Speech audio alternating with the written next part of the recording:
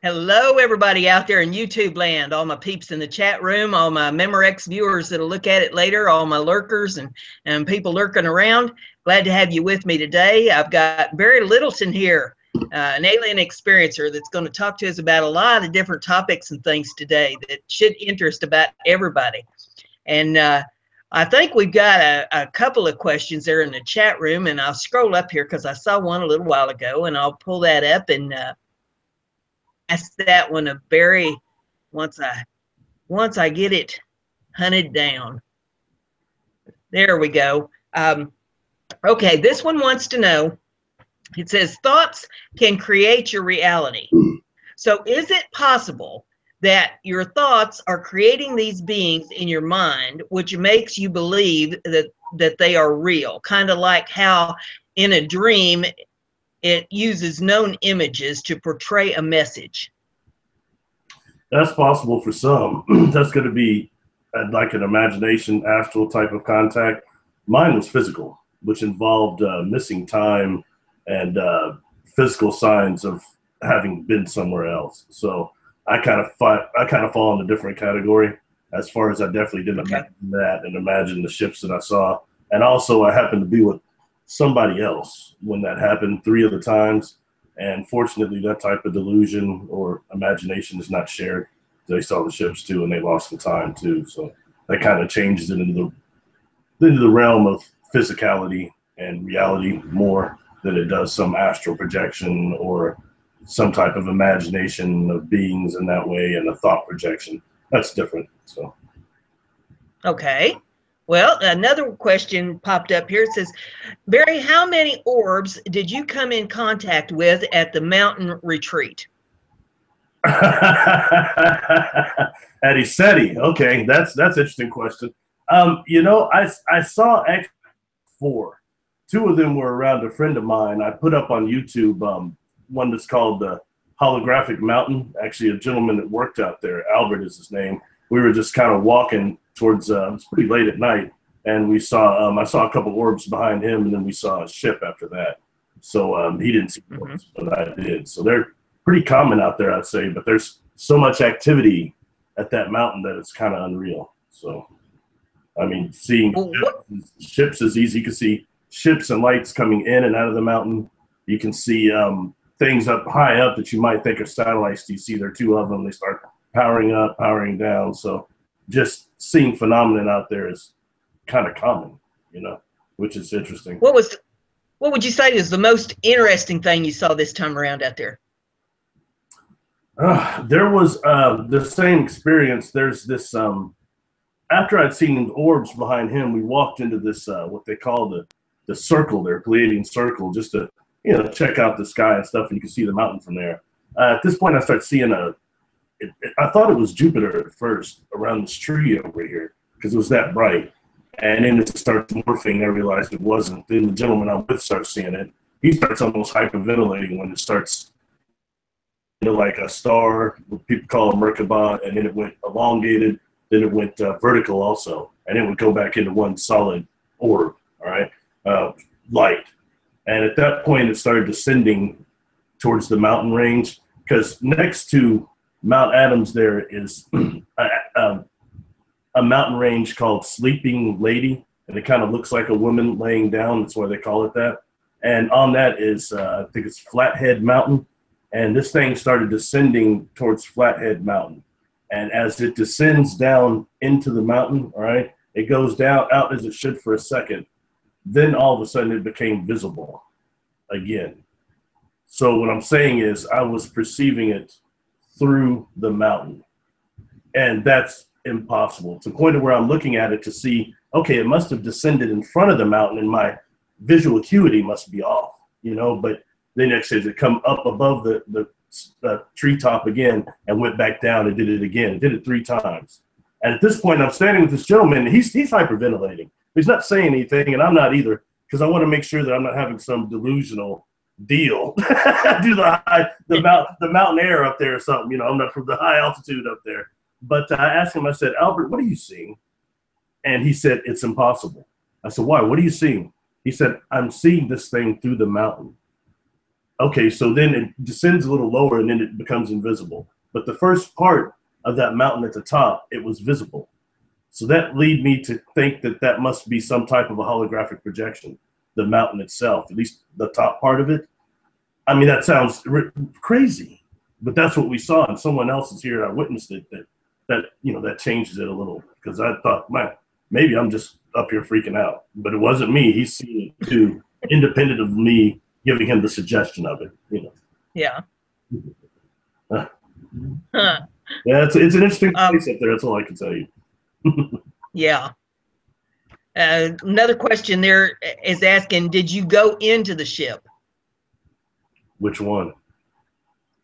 Well, any of them. I've been on. I've been on a few. Yes. Did you go into any there at the ECETI Ranch, or was that just viewing the the ones that were flying around? No, that was just that was just more viewing. I mean, if you're telepathically active, I could pick up some telepathic information off one of them, you know. But um, for the most part, it was seen. and they've also got, um, quite honestly, they've got Sasquatch running around out there. I mean, they're not always visible, but um, if you're sitting in one of those cabins back there, like I was, I had some weird experiences back there. That's all I can say. That place is just. it's, it's definitely not like where I'm from. I'll say that it's a real power spot, and the way James Gilliland has set it up is so that um, it's open for like either Sasquatch, Bigfoot to not be hunted there, and it's a large, large place. You got people out there meditating, trying to make contact with some of these ships, so it changes the whole atmosphere a little bit of the environment. But as far as being being on a ship there, not to my knowledge, no. Okay. One of them was asking uh, to you to describe the ships that you saw. out there. Um, a lot of them appeared to be what's um, plasma ships, which is almost like a glowing orb of some type, or condensed light ships. Most of them look like that. Um, the third night I was there, I was actually talking to my friend from New Zealand, and uh, she was in a tent kind of towards what's called the Field of Dreams. And we went walking out there and just talking, and we saw some that come in kind of close. And to me, they looked to be a little saucer, saucer type, you know. That uh, ECETI Ranch is in Washington State, isn't it? Yeah, yeah, Trout Lake, Washington, really close to the Washington and uh, Oregon border there. You come, yeah, you come into like I came into Portland and went from Portland to the ranch. So. Yeah. I've never been to that area. It was um, quite interesting. I've been to Colorado, and it's mountains there, but it's not the same type of mountainous view and that type of trees and just the thousands of trees like that. It's it's pretty exciting. It's a nice state. Yeah. I've never been up in that direction. I'd love to go sometime. Sounds like a lot of fun. It's pretty cool. One of them was asking earlier if we was going to talk about CERN. Uh, what do you make of that CERN collider? You know, I honestly, when I was much younger, they used to call what CERN the Great Hadron Collider. They called that a cyclotron, okay, an atom smasher to a certain degree. So I think that we should be more concerned with the exotic particles that they're actually making that only might last for a millisecond or whatever. But it's a lot more than just the Higgs boson that I think is more something we've been fed by the by the media. But they're creating all sorts of other exotic particles that could be have an array of uses. So that's what I think is maybe more interesting. As far as um, them creating some big black hole that's going to envelop the Earth and all that, and jumping our timeline, that seemed to be something that was more tied to John Titor, who was somebody who contacted Art Bell like in the late '90s, and some of that story is very interesting. But um, I don't see, and he said that they would inadvertently discover time travel, and I'm not sure if the company even existed yet when he said that. So that's kind of what's throwing that thing like they're going to envelop us, but I don't think they have the power to do that. And there are a lot of other hadron colliders right now that are in operation besides CERN that people don't seem to talk about. Like I think Fermilab is one. There, uh, so that's something to be advised there. And then we've got somewhere like the Anderson Institute, which I think is no longer around, and private sector that's working on true time control technology.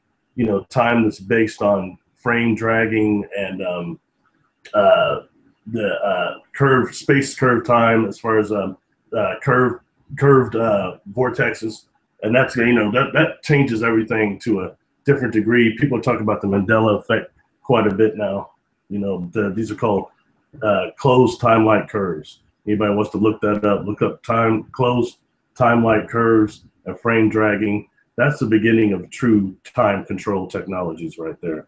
So I think that what's being done in the private sector is a lot more advanced than anything we're seeing from CERN. My opinion on it. What for for the for those of us who are not real savvy into all this, uh, can you give some kind of an example of what they could do with this time controlling technology? Well, I mean, one thing to look at is what is hard evidence. Like um, for advanced, for example, medical field, what they're starting to use um, different stasis fields. All right, for things from MRI all the way to uh, they're trying to replace cryogenics with the stasis field instead of freezing the organs. They're trying to do that for organ like rejuvenation and organ storage. So that's one mm-hmm. thing I'm looking there is what we're seeing as far as in the medical field that are actually affecting the time field. That's that's one thing. And I try to keep some of that more scientific and realistic. We've all heard about things like Montauk and the Philadelphia experiment, which may or may not have been true. It's not for me to judge, but right now I'm more looking at what can be achieved with modern technology and what can we see that's hitting the market right now.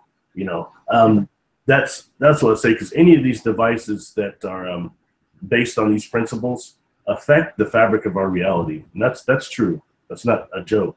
You've got what's called subliminal propagation of information, which is actually sending information, data backwards through time. So if you have somewhere that is working on advanced time control technology and drone wise, they're sending drones back to the past to record things. They can also send information back as well. That that's that's putting a whole nother thing to this that doesn't make things like the Mandela effect such a joke anymore. You know, mm-hmm. there could be little small time skips, people feeling deja vu, which may be a disturbance in the time field around you. For all we know. Mm-hmm. Yeah, that that's interesting. Um, let's see if the does, I feel like I didn't anybody. Well. well, yeah, you, you know, th- th- there's so much to it. I think it's difficult to really answer it in a, you know, a, uh, an elaborate sense of the word. But yeah, that that gave some information on it. Um, I was looking over here at the chat room see if anybody's got any other questions up, but I'm not seeing any right now. Um, I was looking at some of the things that you posted on Facebook uh, here recently, and one of the things that, um, well, there many of them really uh, sparked my interest, but you had a, a thing up about chakras, and uh, there was the the thing that I had never seen before was where you put the image of the hand up and the joints of the fingers. Mm-hmm. And, and uh, you know that you had the self and then you had um, uh, earth fire water and air uh, representing the the five fingers on the hand. Uh, explain a little bit about that to um, me and the audience. That was dealing with um, what's called the warp physics right now um, it was uh, it's pretty interesting um, basically it's correlating your chakras and kind of what had me put that up is there's been a lot of discussion right now with a lot of people that are removing their chakras, trying energetically to remove the energy vortexes of your astral body, okay, and of the physical body. And I was just wanting to tell, I get asked about that a lot. So I just wanted to address the fact I think it's a terrible idea. Because if it was that bad, things like the Upanishads and the Vedic would do, I mean, that things that go that far back, 1500 years BC, would have told you if it was some type of a matrix control system like it's a, a, movie. I mean i'm sorry this is reality here. And if you're removing the energy vortexes of your body what you're doing is leaving yourself open to entity attack is what you're doing. So that's kind of what i was addressing there. But the chakras are energy vortex of the body like the throat the heart the root chakra the navel the um, the third eye that's just basically trying to increase the energy flow, clean out those chakras, and uh, increase the flow of them We're actually trying to achieve God consciousness, whatever your perception of God is. Yes. Mhm. Cre- Okay. And then how does the hand correlate into that? I'm sorry, what's that?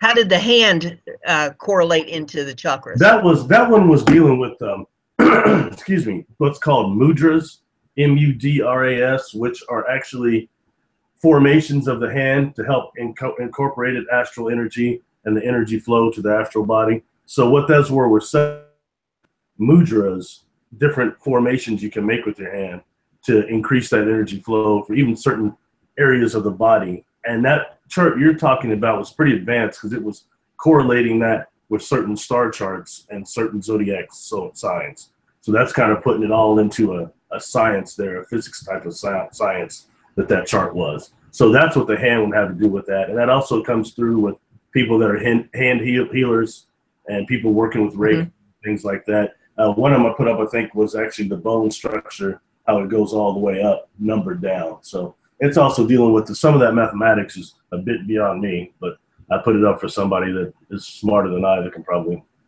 make a better chart. Yeah, I was intrigued by it. It was, uh, you know, over my head. Uh, you know, it's something that that I didn't really understand. I'd need a teacher to to really walk me through it. But I was very intrigued with that. Uh, we got a couple more questions in the chat room here. One of them says, "Do you feel threatened by the orbs?" No, I don't. No, and um, something to be aware about some orbs doesn't mean that they're all entities. Some of these glowing lights we see bouncing around are actually rips in the space-time continuum. Okay, so it's actually kind of a tear between dimensions, universes. So some of these orbs we're seeing is actually that, and people don't always think of it that way. Since it's a a light like that, it must be an orb, it must be a being or an entity. No, it could also be a universe unto itself. You know, we have to be very careful because once we get to a level of what they call the Merkaba body, the energy body, the dream body, it doesn't conform to the physical laws like this body does. So that means we can start doing things, becoming a vessel of some type, some way to contract our reality around us more than what we're doing now. That's mm-hmm. when the creative the creative principle crosses us as immortal souls, if that makes sense. Or is that that that brings me to another question. When a lot of times people will take pictures, and in the pictures, the orbs show up. You don't see them with the naked eye, but you see them on the film in the camera. What are those? you know, those like I said, those could be either. Those could also be beings. The dimensions are getting kind of thin right now. And the camera has the ability to pick up things that the visual visual uh, human visual system doesn't. So I think that's what you're seeing a lot is just these things that are energetic flashes. We've got the fact is we've got beings that are jumping in our field of awareness all the time, every day on this planet. But we're so looking for a glass darkly and so isolated perceptually wise that we can't perceive it. It takes most of our energy just to make it to work and pay your bills and take care of your kids. You're not going to have a lot of free energy to try to sit up and perceive orbs bouncing around most of the time. So people don't have enough freed up energy to have that that energy passing through the pineal gland, which recently someone said doesn't exist, which it very much does. How many people right now are feeling a throb in their in their third eye? It's unreal. I hear about that every day. So yeah, Picking up on the energy. Yeah, and I guess th- that kind of brings us uh, to the embedded beings. ah, you're watching that, were you? um, we want to go over what what they are actually. Yeah. You know, that came up. The first person I had heard talk about it was Linda Moulton Howe, and she mentioned it like probably back in the '90s once. And then it came up again recently. And what this is is she started getting contacted by various masseuses, okay, that have clients in like on the table, and when they're working on them, normally around the neck area, they start seeing, or when this when this client comes in, they start seeing gray aliens, like visually in their mind, in mind's eye. But then when they're working on this client, one starts uh, holographic projection starts rising out of clients. Um, one lady had mentioned that it was connected to suddenly this client's cell phone went off, and it was customary for them to have the client to turn the cell phone off before they begin the massage. So the, the phone was off, but it made some type of a noise that retracted this gray holographic projection back into the client. And each masseuse said that the clients seem unaware of it. So that kind of takes us down to, you know, what are abductees? I'm more experiences, but um, those that have been abducted and been implanted with these physical devices. I don't mean the scalar ones that people are, are thinking about that are attached to people's souls and attach their energy field, which I'm not denoting are not real, but I'm more interested in the physical ones that were removed, like uh, people like Dr. Roger Leir before he passed. He removed several real objects from people and did um, micro analysis on them, microscopic analysis on them. So that I mean that that that changes the whole deal of that. So what are we dealing with there? What is Morgellons disease that is currently being sprayed in these chem, these chemtrails that have this uh, weird fiber optic network nanotechnology? It's things like that that aren't just uh, people doing conspiracy anymore. Some of this you can look up scientifically for yourself and verify it. It's not just conspiracy anymore. I try to keep it in the realm of reality. That makes sense. But invading beings, I mean, if we're talking about some type of an invasion, all right, how would it really be done from an advanced civilization? They're not going to come in here and try to blow us away. It's not going to work like that. It's going to be done in a way that's subtly. And if you've got people walking around with implants, people that are having this gray overlay, and you're having a lot of people that are masseuses now coming forward. Linda Moulton Howe said after she announced that on that Dreamland show, she started getting contacted by a bunch of people. So I think it's probably maybe a little more common than what is admitted. It's probably like I'd say maybe 60% of our population has had contact in the dream state or somewhere and is unaware of it. You know, so just food food for thought. I'm wondering with the, these holographic embedded beings. I'm wondering why. exactly. exactly. Um, you know, there's something that comes along with the abduction phenomenon, which is what I call VRST for virtual reality scenario technology. And you've got a lot of abductees that have been exposed to this. You know, you've got these beings that are presenting projections of loved ones to, to put you at ease or um, scenarios like almost like being on Star Trek holodeck scenarios that aren't there. You know that that is, mm-hmm. that is a real problem in the abduction phenomenon. So you tie that into these implants or whatever's going on, and this holo- these embedded beings, which is also called um, they call it the gray overlay. Also, I mean that is that is some type of consciously. It brings down to what are our containers, and people are so obsessed with religion right now and dealing and going with what religion tells them that they don't pay attention to the world they really live in in that way. You know, what is what would be a takeover actually be? What would be real demonic activity that's outside of some biblical reference? How would it be going down with technology right now? And I think that needs to be, you know, verified. Like Morgellons is one that really comes up. And that's something that they're saying right now. At first it was called, uh, excuse me, forgive me, I think it was parasitis of some type, they were calling it parasitis, which means basically you think you have bugs crawling on you, and you've got people yeah. who have skin lesions, you know, and that's uh that's a totally different thing. These skin lesions are uh, kind of producing these fabrics, and when the fabrics are looked under electron microscope, they're showing that they have carbon nanotubes, uh, and also uh, and uh, what's called um, uh, nano arrays. That's that that that's advanced genetics. RNA. That's that's not something that's just you know in people's minds. That's real scientific deal. Nightline did something about it recently. I think I posted that too. So yeah, food for thought. Like I said, you know. And well, well that's. I said that that more. That's more it, it, it actually spreads, and the fibers spread in two things, in uh, under blue light, and then also uh, with um, alkali, al- al- alkalized blood. and how many people are being pushed to be vegans right now. It's very interesting. They've got alkalized blood. And It's interesting that you bring up the blue light because uh, I have seen advertisements on television where they are treating psoriasis with ultraviolet light.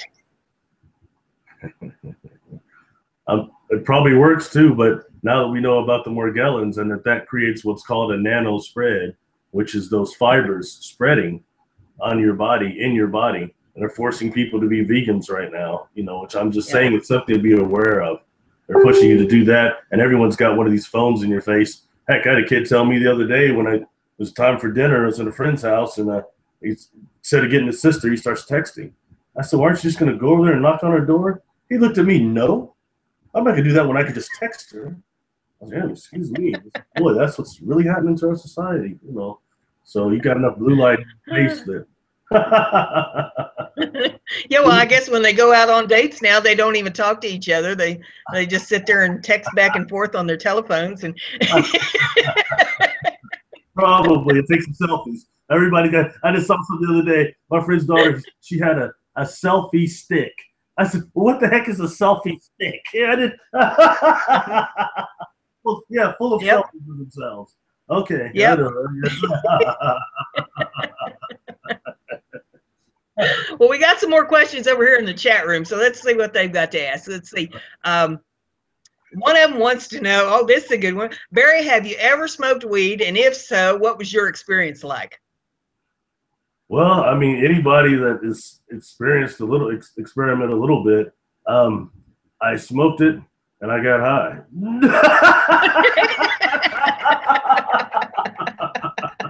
That's about it. You know, I mean, I think that um, our society deals with that particular drug very much wrong. Um, you've got right now, I think we're watching the prohibition of marijuana, the same as alcohol you know how many states are legalizing it how many aren't how many are having actually there's a big medicinal factor there that isn't just getting high but i mean for people that have certain ailments that actually the hemp does help so i think that needs to be Yes. addressed a little bit more than just um, it's the gateway drug to which is the gateway to what i'm still trying to figure out you know but Yeah, we could do a whole show about marijuana as far as I'm concerned because, uh, you know, while I'm not a partaker of the plant, I do believe that it is one thing that would certainly put this country back on its feet financially if we would turn the farmers loose and let them uh, grow all they wanted to grow. Uh, There's so many things that could be done with it. I think that that would cure the woes of the economy. Uh, but hey, you know, like I say, that we could we could do the whole show just just on weed. Well, you know, I, I noticed I noticed in Washington and Oregon because that it's legal in that state as those states is where my state and is not. But I noticed a great deal of different attitude there, you know, and same as Colorado, it's different there too. So maybe it needs to be looked at. Even the the crime rate, I think, has dropped in those places a little bit. So you know, Well, yeah, they're not thinking about crime if they're hopped up on weed, you know, and they're just wanting some bags of chips. yeah, exactly. You know. But it goes back to things like you remember what was it that old show, uh, Dragnet? The Dragnet used to pump Mhm. that real hard. You know, reefer madness. Like you take a couple hits of that stuff, you're finished. You know, they still have that, that that stigma that if you do smoke it at night for insomnia or whatever you might have, you don't really deserve to have a job and you don't deserve to be a functioning person in society because you might have reefer madness. I mean, that's that's ridiculous. I mean, it's. Uh, but it's all right to go to the bar, drink what they call Yeah. Okay, that's called that for a name, for a reason. It's okay to go get bombed out of your mind, um, as as long as you don't drive. But you might go home and you know beat up your family or ruin your life. But Right, it's all right as long as you don't drive because it's legal. right. Well, that's Yeah. that's not. Well, yeah, it, it's the propaganda, you know, that we we've all been handed to all our, of our lives, and there's a, a amazing amount of the populace that is just willing to swallow that hook, line, and sinker. Um, you know, it, well, they tell us that, so it must be true. You know, and they walk around like a bunch of Stepford wives, and they don't uh, they don't stop to think. Now, wait a minute. you know, just because they're saying it, don't make it so. Mm-hmm. But that's like we got another one over here that wants to know if you can please talk more about the vegan thing. The vegan thing, um, you know, I, I, I, try not to say Yeah. things that offend people because I have some friends that are that are vegans, but it's just that um, my understanding is, you know, it creates an alkalized bloodline or blood blood, which is really beneficial. My understanding, but then my understanding is that Morgellon actually flourishes in that environment, in that blood, in that bloodstream. And so, if you've got people that are being exposed to this through chemtrails, which is what has been proven now, that's where these things are coming from. They're being sprayed. And you know, I I find that interesting because where I'm from, we have contrails, but they evaporate real quick. You know, they're not, they don't stay that long. They're, it's, it's it's a water thing. But these other ones, like the ones I saw in Washington, it was totally different. with these these things coming the planes were doing. So that's that that's a real deal. The chemtrails there. Um, as far as the vegan thing, I'm just saying that I'm noticing it exponentially how much veganism is being forced down our throats right now and how certain people are rebelling against it and it's different between being a vegan and a vegetarian. I once tried to be a vegetarian. I, I didn't last much more than a year but i did try. And it's beneficial you know by all means. But veganism is slightly different. It's creating that blood more that alkali- alkalinized blood that is allowing that virus to maybe flourish in your body that disease. So i'm just wondering what is with that? Between that and people watching that looking at their phones and knowing that that actually that blue light makes under the um, environment of a lab it makes this weird nanofibers expand and self-replicate. Once again kind of sounds like nanotech is sounds like that's uh, engineered somewhere don't you think? Yeah. considering we just found that type of technology about the last uh, 20 years we could even analyze it. So you know some of these people having these implants are going back 50 60 years. So Yeah. Anyway i hope that addressed the vegan thing so i'm just saying is there a connection to why that's being pushed on us so much right now in terms of this morgellons in terms of this whatever's happening with that that this this fibers that are being produced That would also tie in with the uh, juicing or juice fasting that seems to be so popular right now too. yeah i i uh it's dangerous territory right here.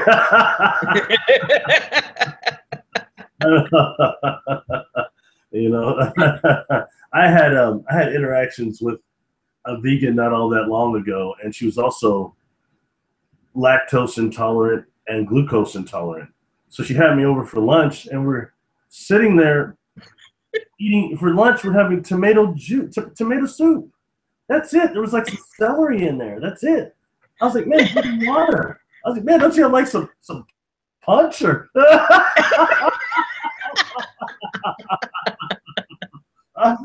You're like that little old lady on that commercial they had years ago. Where's the beef? Uh, yeah, yeah, the old woman, yeah.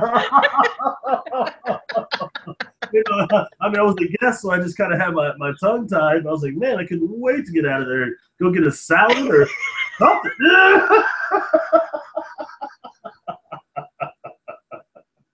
anyway, Ah, she'll never get a man like that. yeah, yeah, man. Her mama didn't teach her the way a man's heart's through his stomach.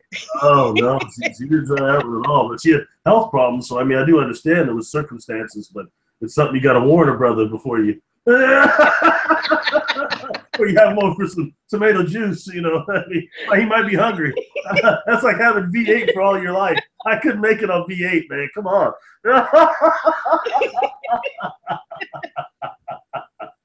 She had V8. Oh my goodness. Yeah. Anyway, I'm sorry.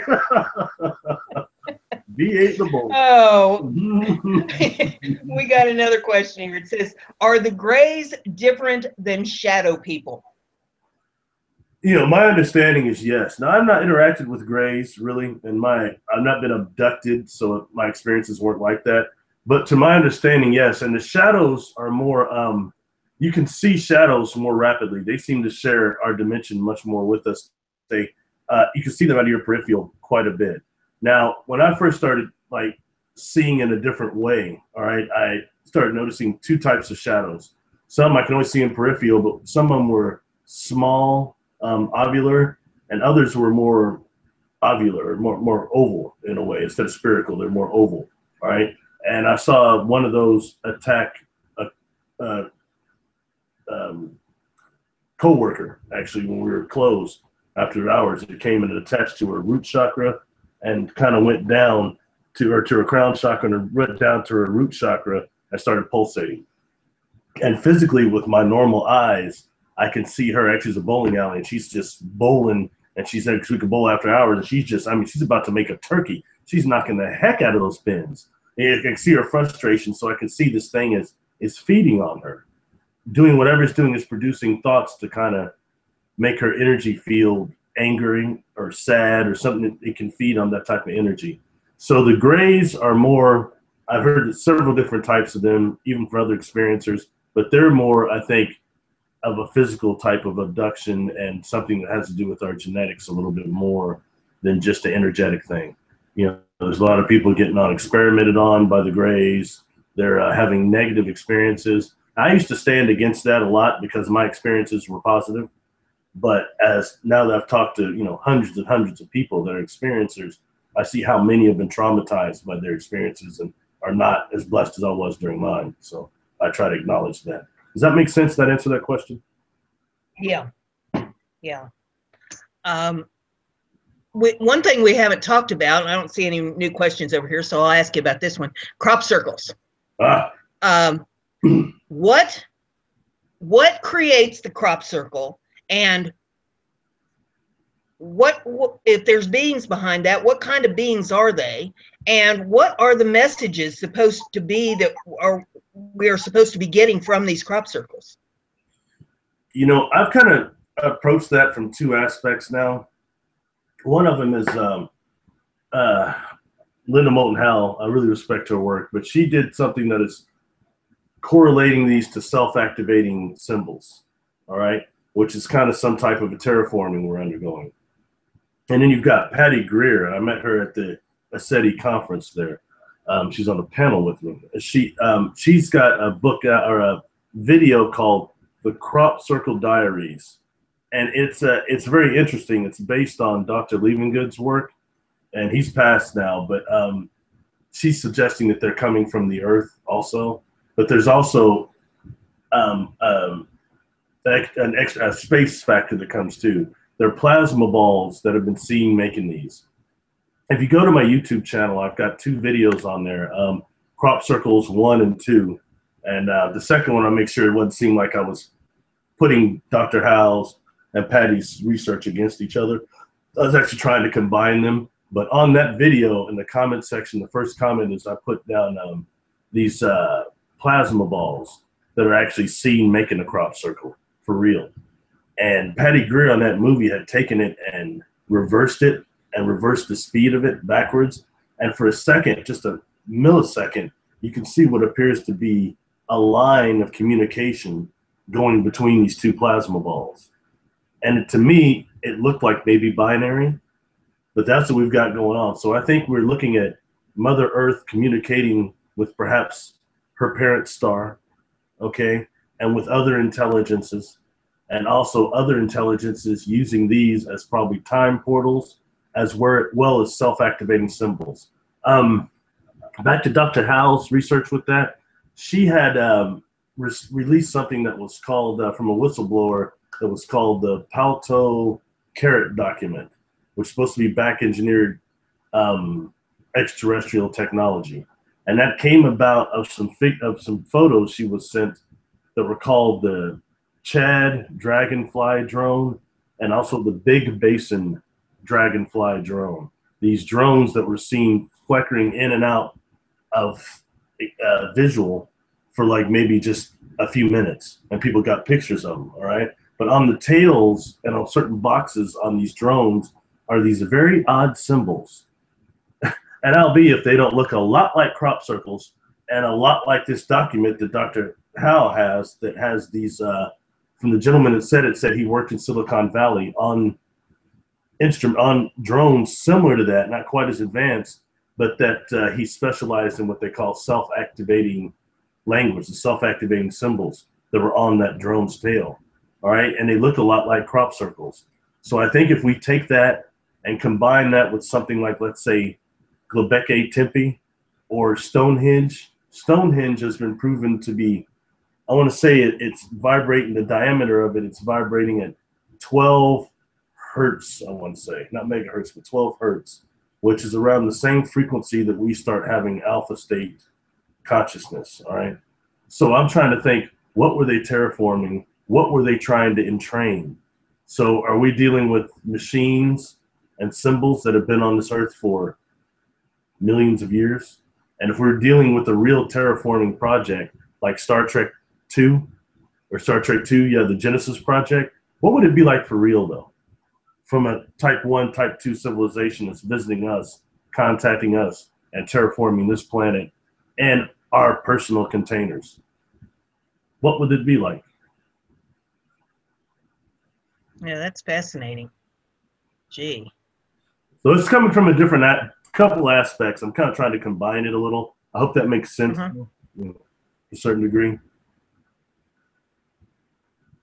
Is it possible that, well, I guess anything's possible, but uh, the if the crop circles are activated by these plasma orbs, I guess my first question would be, where are the plasma orbs coming from? You know, that's what um, I might have actually offended uh, Patty Greer because I didn't totally agree with that they come from the Earth because some of the plasma, including that video that's on my YouTube channel, it, you can see actually the orbs going up.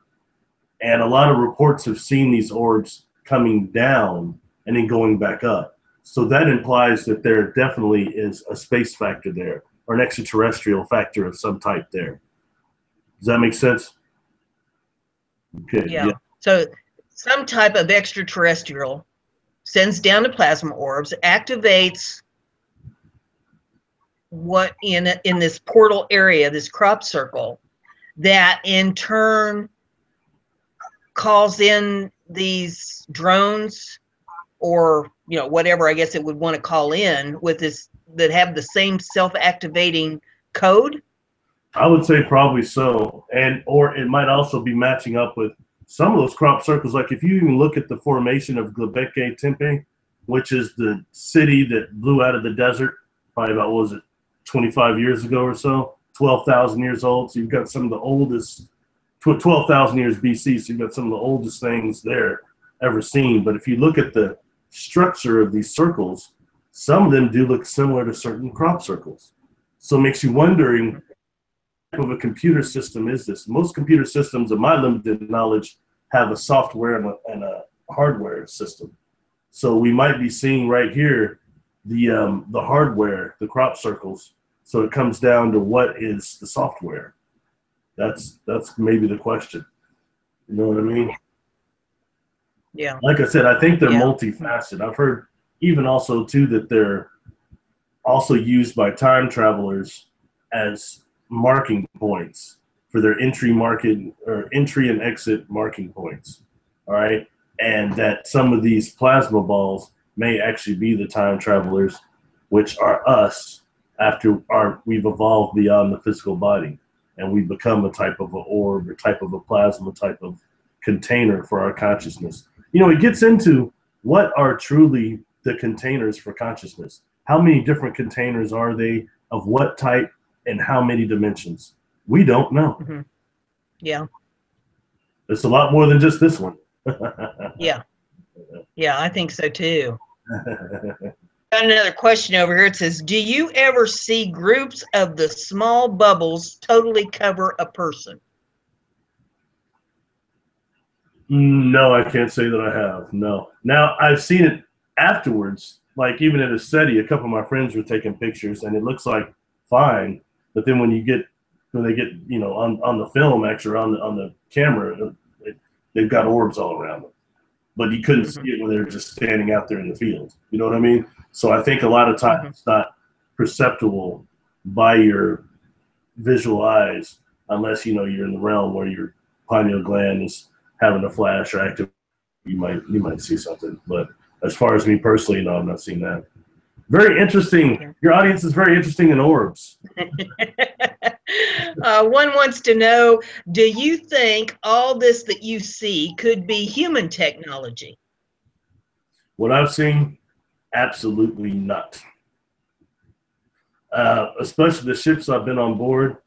Um, the technology, especially incorporating its organic nature, is literally thousands of years beyond anything we have here right now.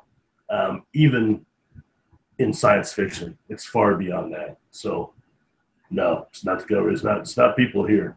I mean, I, I can only speak from my personal experiences, but uh, it's not. Uh, it's not human stuff here. One wants to know uh, what do you think the goals are of those that are interacting with the humans? Well, I think it comes down to how many different groups you have here that are interacting with people. And I mean, I'm beginning to think it's nearly endless. There must be hundreds. Like the beings I've dealt with, uh, most people have not, or not even aware of. And they're not the beings that come from, oh, the Pleiades oh, Sirius, oh, all these little places that are like almost too convenient. You know what I mean? When we're dealing with the phenomenon, mm-hmm. it's not these individuals, these beings were telling me, you know, there were sectors of space. They're using things like that and light years that are so far out in galaxies beyond this one that it didn't hardly make sense. Um, you have some factions that are here, obviously, working on genetics for various reasons. You know, the beings I've dealt with are more interested in the preservation of Earth and said that it's been almost destroyed before and shown me things in the past. So that's, I would say that uh, it just varies according to what group you're interested in. And we know this much there's several factions that aren't fans of humanity and are just waiting for humanity to ruin our stewardship of this earth, which we're close to doing now through nuclear technology, war, we're close to blowing. We're, we're yeah. close to going down for the count. I don't do. I'm not trying to sound pessimistic, yeah. but I'm just being realistic. I mean, I like most people can't hardly watch the news anymore. I mean, you want to get a, yeah. a, a wave of depression? Watch the news. watch the election. Good lord, I didn't want to talk about it. I get a great hair thinking about it. A gray hair right there. I do a current event show here at noon every day, and uh, oh, believe me, it, it is a mess what is going on. It's oh. hard to keep your sense of humor when you're looking at that stuff. I know it's difficult for the audience even just to hear it, but I'm the one having to wade through all this stuff and pick and oh. choose, you know, what I'm going to have to bring out. Uh, uh and uh, well, there's probably five or six times as much stuff that I have waded through just for the articles that I bring to the table. So, you know, for me, it's almost devastating mm-hmm. the the amount of stuff that's going on. Mm-hmm. You know, when I when I was younger on HBO, they had a show that wasn't very long lived, but it was called Not Necessarily the News Right. A, a, lot of what I'm seeing, it would be almost comical if it yeah. wasn't real. If it wasn't real, it's like it's like watching uh, uh, uh-huh. Saturday Night Live, and I can't believe it. I mean, it was it, it's scary because I don't have any children, and if I did, I'd be very worried about if they're going to even have you know a, a, world here in the next 30 years yeah. or so. It's getting really bad. That's just my opinion if they'll even be here for the world. I mean, you know, that since they're starting up all these wars, you know, they're going to be trying to ship everybody that they possibly can out to fight. Mm-hmm, mm-hmm. And you know, and it with the amount of technology we have now, these wars aren't going to be anything like they were in the past. They're, they're not they're not going to be like what we're familiar with now. I think a large bit of the war is going on now. You know, and it it's coming celestial. There's a war here happening celestial. We've got souls that incarnate here half of us, all of us white clean, come here incarnating without soul life memories for an immortal soul spirit being as we are, that's a major problem. I know a lot of people say, oh, it's a school. You agreed to a contract to this. You don't know that. You can't remember it. What good is that if you what is good if you can't remember your immortal soul life life events? That's a problem. Mm-hmm. You can't utilize that here in this in this reality. Then you, you pass and you really don't know what's going to happen. You go asleep again. You wake up asleep. Mm-hmm. That's this this this place is a church. So what you've got is a pineal planet where you have creative geniuses, like almost if we're gonna go Star Wars, like Jedi type of people that obviously didn't conform to something. They got wiped clean, sent to a prison a prison planet, along with the deviants, the criminal, the criminal insane. They were wiped clean and sent to a prison planet also. So what you have is a planet where you have parts of the population is almost angelic, creative, and you've got the other that are vicious murderers and vicious psychopaths.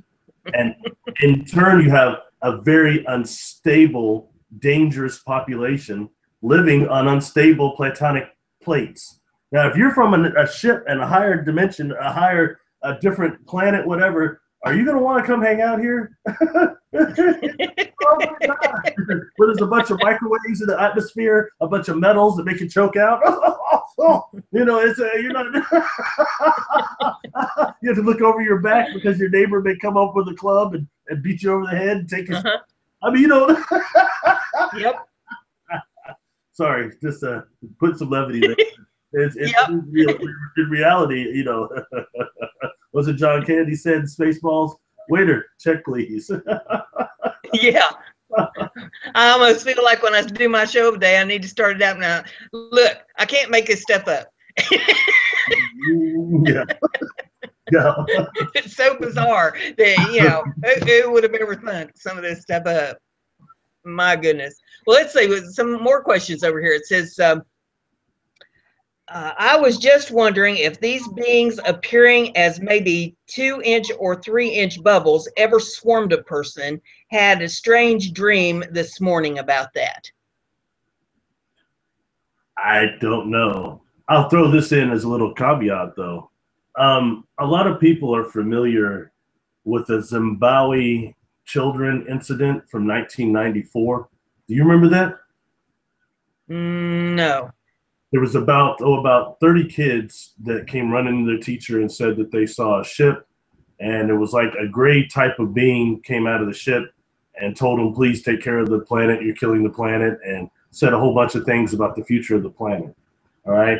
Those kids now are you know approaching 30 excuse me. And a lot of them remember now instead of seeing a gray being or under hypnosis they remember only seeing orbs a couple of orbs floating around them and all the information was coming from these orbs. So never actually was a little gray being or a ship. It was just these orbs. Once again, giving some type of a holographic virtual reality scenario projection to these kids. But you know, it comes down to uh, you start wondering, okay, what the message was given to these kids. They said, well, the being, the way the being looked when they were kids, they said the way the being looked scared them because of the eyes and everything. But then the, the information itself that came through was only about please help, please help. And of course, it's children that you'd be able to get through that are the future. Okay. So I think right. dealing with that, we think of what kind of intelligence was behind that communication. And it was a beneficial one. So, what type of communication and intelligence was in those orbs? That's kind of what you're left with, I think, evaluating situationally wise, anyway. Yeah. Yeah, I, I have never heard of orbs, you know, swarming anybody. Um, although I have seen some pictures where maybe you'll only see a couple of orbs in the picture, and then other pictures where, um, as I have a friend in Arizona that took a picture out in her barn one day when she was feeding the horses, and there was of these orbs in the in the picture in her barn and mm-hmm. uh, but I've never heard of them actually attacking or or swarming anybody. Yes. Sorry, you there? Yeah. Oh, sorry. Everything went blank a second. Okay. Yeah, yeah. I, you know, I haven't. I personally have never heard of orbs ever attacking anyone. They're just always seen floating around people. Um, I have some friends that sent me a couple of pictures. They've got some orbs on there, but they could see them visually. So they snapped a picture of it and it's on the camera too. So, I mean, so I've, I've never heard of them just swarming and being hostile in that way. Or even the communication from them being hostile. You know what I mean? So, yeah. well, what kind of projects and stuff are you working on right now? I'm actually trying to. I've been trying desperately to construct a couple of books um, that are in the odds of these uh, illustrations I have actually. So that would be um, one book that references childhood experiences, another that's adult on ex- onset experiences, what I call them, and then a third that is uh, dealing with the technologies I've seen on board craft and my limited understanding of them. So that's kind of where I'm at now, and it's um, a lot of this information almost died with me, so I kind of just am trying to put it out there. And you've got so many young star seeds out there now, people that are being born awake or being born with past life memories like me, that it's time for this to go ahead forward. And I think it's in reality a chance for humanity's attempting to save itself to a certain degree. And I think it's the young people that are representing that right now. So.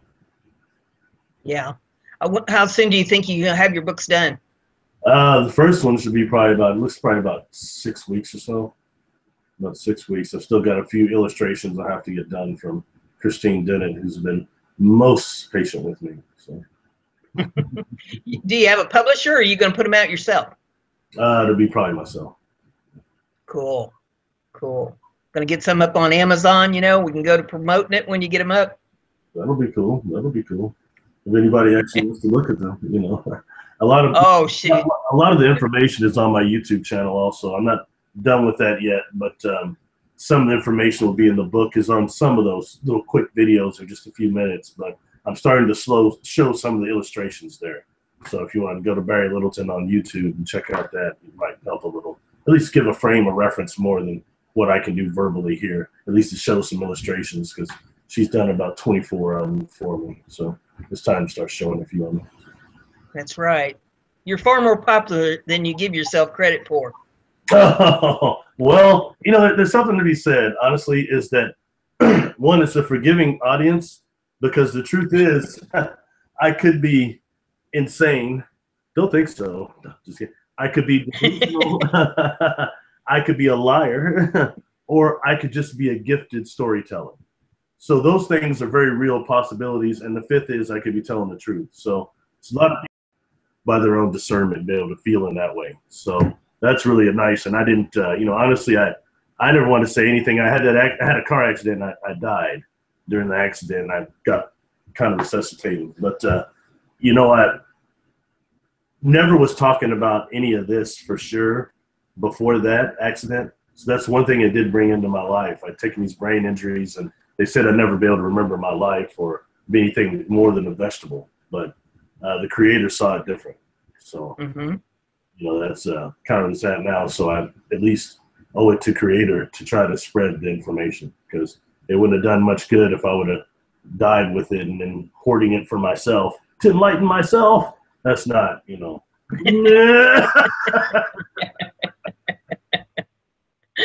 well, say well, I've had you here about an hour, so I guess it's probably about time to shut it down. So I will thank all the folks that we've got out there in the chat room for their questions and, and hanging with us today, and all the lurkers that are out there that are too shy to come in the chat room, and all my Memorex viewers that'll do it later on. Glad to have you with us today.